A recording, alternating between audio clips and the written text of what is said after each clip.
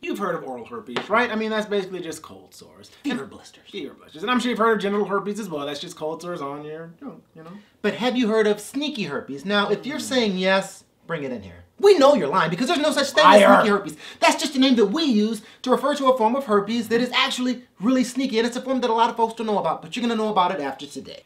This sneaky form of herpes is called herpes gladiatorum or mat herpes. Herpes gladiatorum is called mat herpes because it is frequently transmitted among athletes like wrestlers who have a lot of skin to skin contact. So, Yeah, what does that tell you? Yeah, folks, yeah, folks. This form of herpes isn't passed from person to person by kissing. It's not kissing on the passed by having sex, unless you're kissing on the mat. Yeah, exactly. It's not passed by having sex either. It's passed by person to person, skin to skin contact. Simple touching can transmit this form of herpes.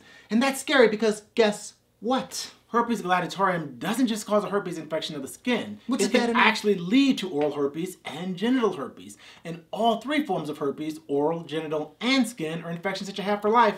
There's no cure.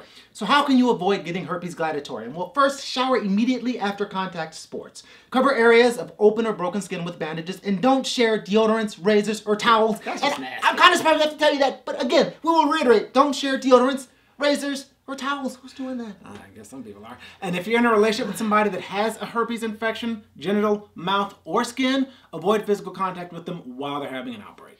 So there you have it. Sneaky herpes does not have to sneak up on mm-hmm. you because you are informed now. We are the Twin Doctors. I'm Dr. J. That's Dr. I. Don't forget to check us out on our website, www.twindoctorstv.com. We're on social media at Twin Doctors TV on Facebook, Instagram at Twin Doctors TV, and Twitter is going to be at At Twin Doctors TV. Twin Doctors. This has been today's medical moment. Stay healthy, guys.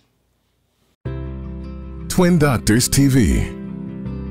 Educate, inspire, entertain. Follow us at www.twindoctorstv.com and on Facebook, Twitter, Instagram, and YouTube. Stay healthy. Bye now.